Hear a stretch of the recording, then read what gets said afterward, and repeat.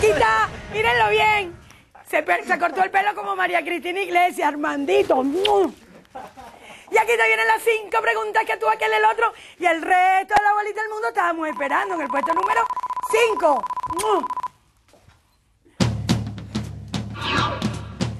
¿Qué pasó con los reales de la salud?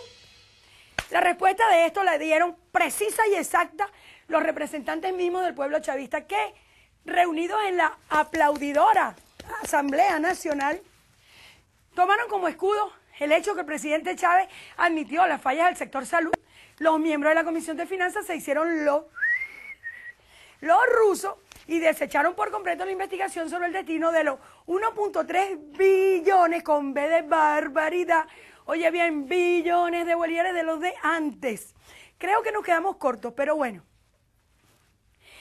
Y el único diputado chavista médico Tirso Silva que se atrevió a investigar el desastre de las ruinas de Mantilla, lo mandaron a callar en la propia asamblea de Foca bajo la amenaza de salir como corcho de limonada del Partido Único Socialista PSUV.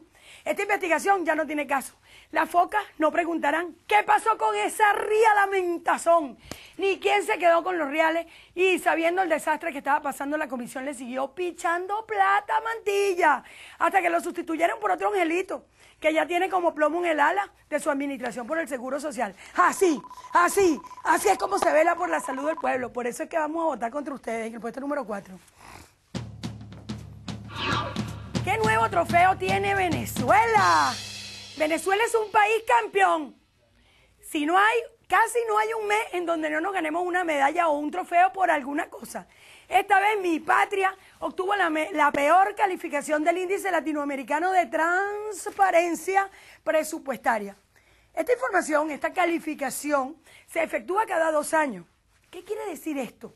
Bueno, es que Venezuela, según esta calificación, es el país menos transparente a la hora de dar una información sobre cómo se desarrolla el proceso del presupuesto en la administración pública.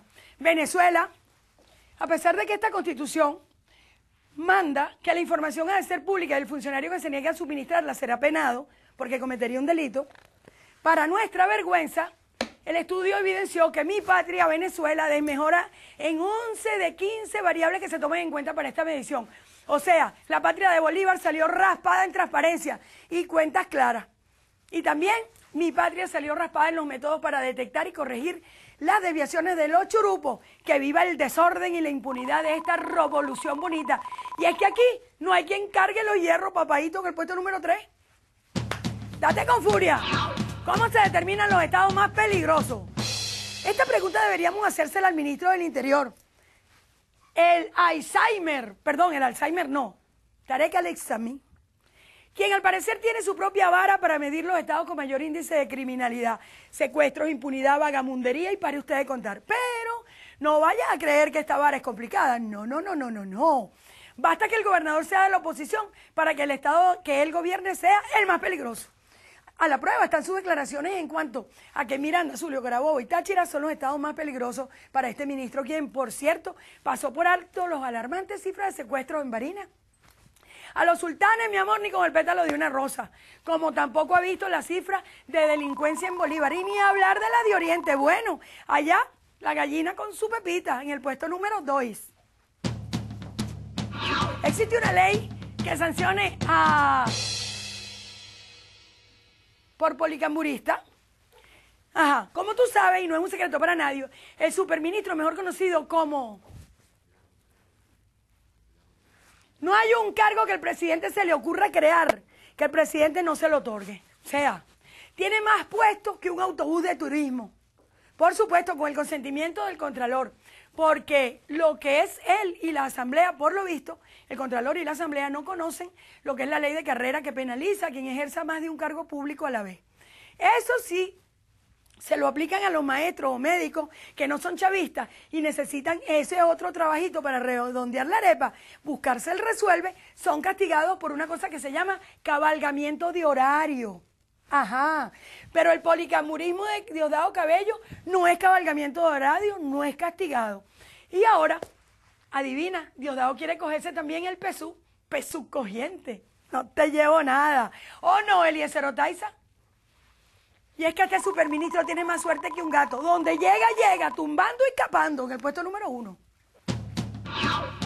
Porque el comandante reculó. ¿Qué habrá querido decir nuestro presidente con la palabra adagio o, como se dice correcto en italiano, adagio? ¿Mm? Lo dirá en sentido del ballet, donde los ejercicios lentos están destinados al perfeccionamiento y al equilibrio de los bailarines.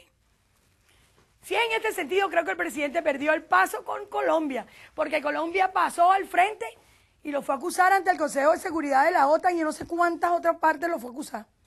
Y esos no son ni pasos leves, ni los que ponen música suave. Eso es heavy metal, pero parejo.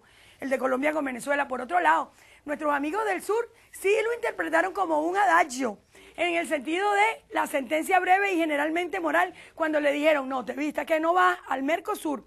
En Mercosur no entran camorreros ni guapos de barrio ni personas pocas serias que tratan temas tan delicados como la seguridad y defensa de una nación, como si fuera un adagio.